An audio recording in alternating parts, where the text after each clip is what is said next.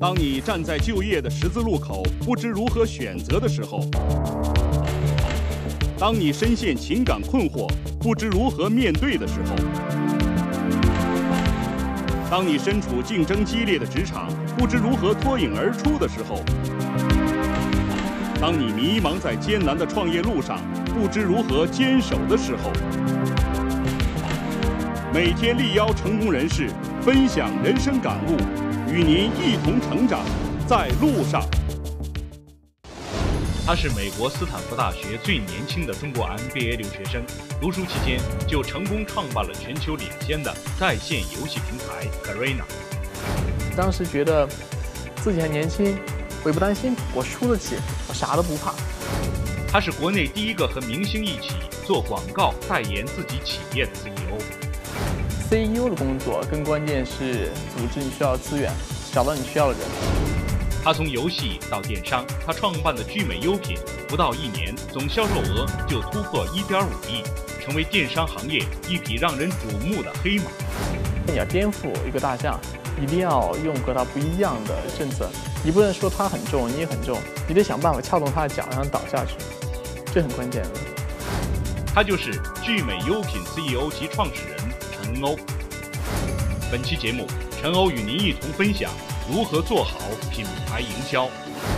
我对这一点呢，还是非常的看不懂啊，就说。呃，当一个人创业的时候，不是做着自己最喜欢的事情，而是根据这个指南针给指出来的。就是说啊，现在什么地方创业最友好啊？电子商务、SNS，然后移动互联，对吧？这三大项里面都能刨出金来。像雷军说的，这个是风口，猪在这个地方也能飞起来。对对对，你们就恰恰是照这个逻辑做的。其实我觉得很关键，因为我第一次创业做是游戏，自己喜欢的东西。嗯。如果你是一个创业者，一个人，嗯，说实话，你可以追逐你喜欢的东西。当你作为一个职业的、专业的创业者，一个 CEO，当你需要养一个公司，你需要向你团队负责，你需要向你投资人负责的时候，你做一个负责任的人，你一定要想清楚，你现在的兴趣是否有可能做成十亿美金的产业，是否有可能做大，这是很关键的。就是我的梦想是做一个成功的公司，让跟我一起做的人都有肉吃，而不是说我陈欧喜欢一件东西，我把东西变成我的事业。我做过了，我学计算机，做的第一个企业是游戏企业。第二东西我做的是游戏内置广告企业，然后我转型之后，直接做的是电子商务零售产业。就其实我做三个东西是完全不搭边的。中国创业上估计像我这样转型这样不靠谱的人是很少的，就非常不靠谱。一个团队没变，直接从游戏就转型到电子商电子商务，从针对男性的产业做到对女性产业，从虚拟的互联网产业做到卖货的产业，它基本上是一个像跳崖一样的一个转型。其实说实话，刚开始我对电子商务，我倒没有真的很强的热情。我回国的时候，我也没从没想到过自己会做电子商务。包括我的合伙人说，如果我回国前告诉他们是喜回国做电子商务，他们肯定不会回来。因为我们本三个是。你告诉他是做什么的？呃，游戏类似广告，当时觉得是很炫很酷的一个案例，在美国也有成功的案例，在一年时间做两亿美金。当时我们是从来没有想到自己会碰任何实体物流的电子商务的。因为在美国是觉得这是很累、很脏、很辛苦，而且很多环节，我们宁愿做个很炫、很酷的互联网上东西去改变世界，就像很多在美国受教育的人一样，我们叫美国一个模式搬到中国来了，然后最后发现水土不服，外国的月亮不一定是圆的，那中国同样路不一定走得通，然后最后决定做一件事儿能够活下去。早期想法很简单，我们得做件事情让公司能够盈利、能赚钱、能活下去。当时想。做什么呢？做电子商务是有机会的，市场很好，机遇很好，而且最大的公司不一定能把我们灭掉，因为你也知道，在中国创业的时候，常问一个问题是：如果腾讯做这事儿，你怎么办？像电子商务，我们相信腾讯应该不会全力的去卖化妆品的，可能拍拍上有些店，但是他应该不会说全力做化妆品的垂直独立 B to C，所以最后我们选择做电子商务，但我我得承认是做这东西第一天。我更多是一个理性的分析，而不是说对这东西的一个非常强的激情。一直在做了一年之后，当发现越做越大之后，对这时尚化妆品产业激情才感觉到了。因为我们知道我们影响更多人，所以在必要的时候，人是需要向市场低头的。我觉得很关键。虽然很多大佬说一句话，你要坚持，一定要努力，要向梦想奋斗，但我觉得以前杨林说的就很对，人坚持的是对成功的追求，而不是对某个项目的追求。就说一个 CEO，他一定要很好的判断你这事情对不对，很多兴趣因为市场因为环境他是做不大的，一定要把握时势，在正确时间做正确的事儿，才有可能真正的事半功倍，做一件大事业。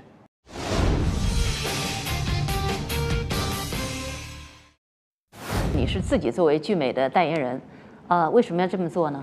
像您问我这个问题的时候，其实已经达到效果了。就说因为您关注这事儿是很有趣的事儿。当每个人都请明星的时候，你请明星也没有差异性的。可是我看到你们还是在请明星，韩庚不是你们代言人吗？韩庚请明星，但是 CEO 和明星一起出席这招，我相信电商企业中能打这招的不多，别人也不会跟我们打法。就是这是差异化。聚美优品从第一天都要不停的根据市场环境去打差异化的牌。别人卖一万个东西的时候，我卖一个；别人卖生活服务的时候，我卖食物；别人是野蛮生长时，我做好服务。当有一天差异化没价值的时候，我没法通过绕开打的方式的时候，我就会踏踏实实打正面战。不过现在我觉得不是时候，我们现在还是游击队的时候，还有京东没有太大的正面竞争的时候，我在这品类我还是先把我自己的服务做好，做好我的优势吧。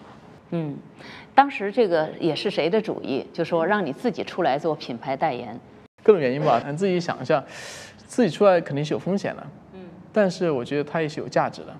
它更多是个事件营销。我说过嘛，有人会说我嘚瑟，有人会说我特别有效果，有人会成为我粉丝，有人会被我感动，也有些人会不屑一顾。但不管怎样的话，当人去讨论这件事情的时候，它已经实现很强的一个品牌传播的东西。嗯，而从营销角度上，我个人觉得一定要创新。你没有创新，没有新的点，没人会记住你。成功的营销往往是有可能把公司带到一个新的一个高度的，尤其是在电商公司的拼命烧钱的时候，拼命请明星，拼命打广告的时候，谁在营销上能够做得更好，他就能够走得更远。其实说实话，我觉得更多不是说我代言聚美优品，我说的我的词儿是我为自己代言。其实我代言的是一种创业者和团队的代言，就说，就我们是个团队，我是为团队站出来，而不是为个品牌站出来。聚美优品的品牌代言人是韩庚，而我是自己的代言人，就更多的是，并非说要到处去宣传各方面，更多是把一种我们的价值观传递出来，让别人说看到希望。因为像韩庚的更多是告诉别人说聚美优品是干嘛的，而我的这个广告更多是告诉别人说，作为一个年轻人为自己代言，勇敢的活出自己色彩，更多是这个概念。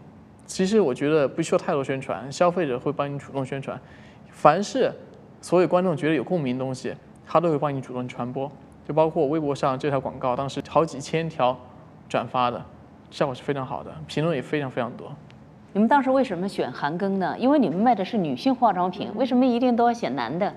您不是第一个问我这个问题的人，嗯，您问这个问题证明说你关注了，关注证明说我们营销是有效果的，而且韩庚说实话，他品他的形象也非常好，非常阳光，非常清新，他的粉丝也是我们受众。所以是有一定价值的。我们随时有可能走一步别人看不懂的棋，就是如果您看聚美优品，我们创业故事，每一步都是别人看不懂，都是创新性很多的。从我们选代言人，包括自己出动代言，包括广告挂牌儿，这些东西都是前无古人后无来者，没人去学习的。但我相信我们做的每一步，都是让别人关注到聚美优品，知道我们，它起到它的效果的。嗯。每一步都是说不是在某些规则和既有的经验里面去找到的。对。那你根据什么东西说你要去做那个那个呢？用直觉。你的直觉。我的直觉。第一，风险肯定是可控的；第二，效果是有可能会爆发的，我会去做。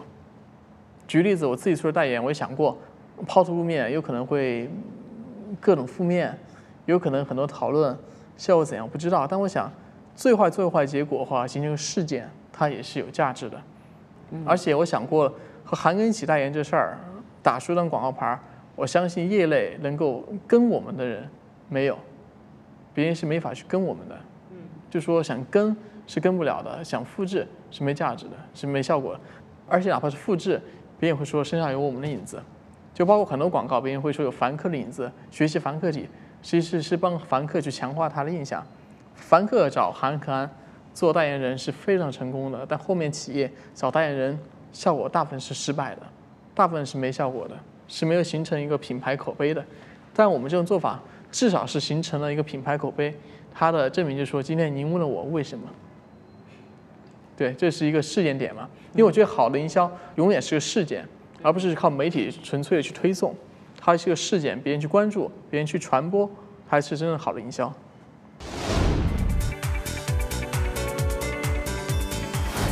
我们第一天建立公司的时候，公司可能价值是两百万美金，你这是是两百万美金的联合创始人。当公司两个亿的时候，你如果成长不成两个亿的时候，一个副总，你能力成长不上去的时候，你会被淘汰。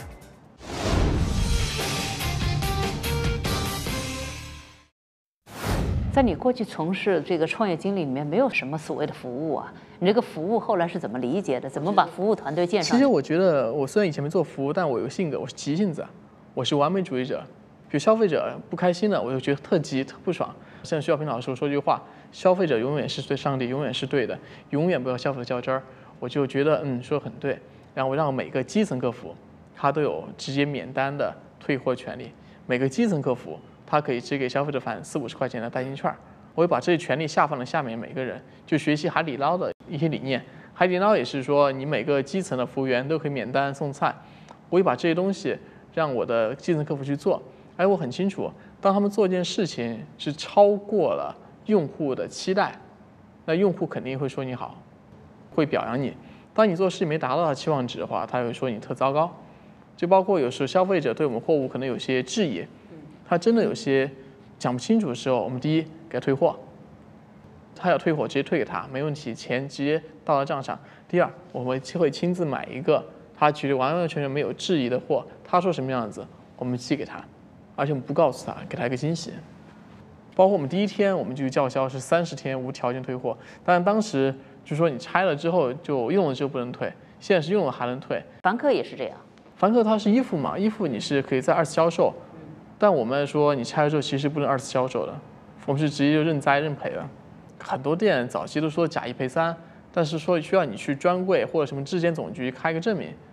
我们本来早期这样做的，会觉得这是不靠谱。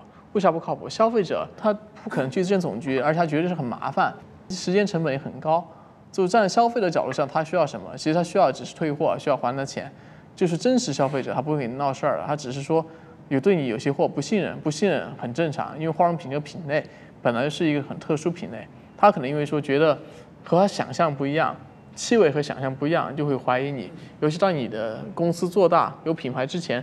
它肯定是有一个信任度的危机、信任度的问题的。所以这样想的话，我会把消费者所有的风险我们来扛着，不给消费者任何风险让他们去扛。这样时间长了，公道自在人心，就真正的买过你消费者多了，他说你好，传播开之后，所有的负面、所有的质疑都会迎刃而解的。我去上你们的网站去看的时候，有很多各种各样的化妆品，但是国际一线大品牌的还不是特别多。其实说实话，我们最近的思路。在尝试推荐一些真正的性价比很好的产品，很好产品，而不是只卖贵产品。嗯，因为我既然说已经无条件退货了，然后国际线品牌你也知道贵，买之后和期待不一样，消费者可能就觉得很不爽，愿意退货。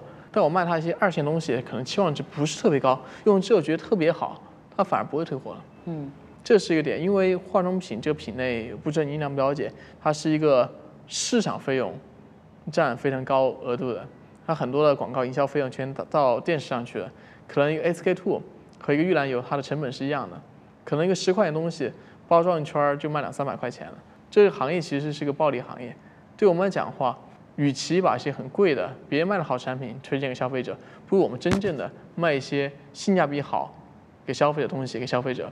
毕竟说我们贩卖的不是名牌，贩卖的是美丽，我们卖去希望。这也是为什么我们会尝试研发一些自有的品牌，比如说我们。终于开始卖那个聚美优品自有品牌的化妆刷，嗯，卖几千个，因为我知道没有好的化妆刷，我们自己做质量又很好，又便宜，可能比牙刷还便宜。消费者买了之后，他只有开心，没有不开心，他开心就好。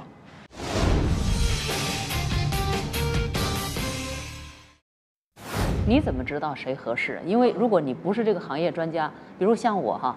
啊，我开始我找互联网的人就吃了很多亏啊，我就常常看走眼。你是怎么克服这一点的？这样讲就说，嗯，首先我的团队啊，就是我创始团队是认识多年，非常了解的，执行力很强团队。所以说在互联网上产品上这所有用户看到前端东西，我都可以很好的解决。然后像其他像客服啊、仓储物流啊这方面人，我们可能是通过猎头啊、挖人啊、朋友介绍找到的。早期说实话，当你不懂的时候，很容易被忽悠的。但是早期当你公司还比较小的时候，哪怕被忽悠了，你付出代价不会特别大。嗯，所以说也是试错的过程。也就是说，第一次第一步找特别好的人是不可能的。嗯，有很多人是想我创业的时候就找特别优秀的人加入我们。但是如果特早期的时候，特优秀的人就是你的合伙人了，你会代价会非常昂贵。所以这时候我们也不指望找到特别特别优秀、出类拔萃的行业专家，而是很适合我们的人。而这样的人，当你公司高速发展的时候，也给了他一个平台去锻炼他、去培训他。他也可能和你公司一样高速发展。如果他跟不上公司的发展步骤，你当然是可以找到更合适的人。你拿他怎么办？嗯，比如说转岗。或者是有些人当自己跟不上公司的时候，他自己就离开了，因为这是没办法事情。那两个创始人，他跟你的这个关系好像比较默契，因为原来是从做游戏的时候一块儿的。对，一个是我做游戏时我的师弟，另一个是我斯坦福的师弟，关系都非常好，都是非常聪明年轻人。那你现在的公司做大了，会有新的团队、很重要职位的人进来，怎么样？就是说建立一个新的平衡关系。我关心的是谁能够把事儿做好，能把目标达成。不管是新进来的还是老进来的，你能把事儿做成，我就服你，你就是公司的爷。嗯，因为说公司做的是靠一群做事儿、做出成绩人推动的，嗯，而不是靠一群老人。包括我和我的创始两小兄弟说，我们第一天建立公司的时候，公司可能价值是两百万美金，你这是是两百万美金的联合创始人。当公司两个亿的时候，你如果成长不成两个亿的时候，一个副总，你能力成长不上去的时候，你会被淘汰。如果二十亿的时候成长不上去，你还是会被淘汰。你会被淘汰，我也会被淘汰。如果有一天我觉得我个人能力已经没法把公司带到一个新的地步的时候，请一个更加职业的好的 CEO，我觉得是很正常的，这是非常正常的。因为人不能只是为自己 ego、自己野心、自己的自尊心而活着，人得需要看的大家的方向，换位思考。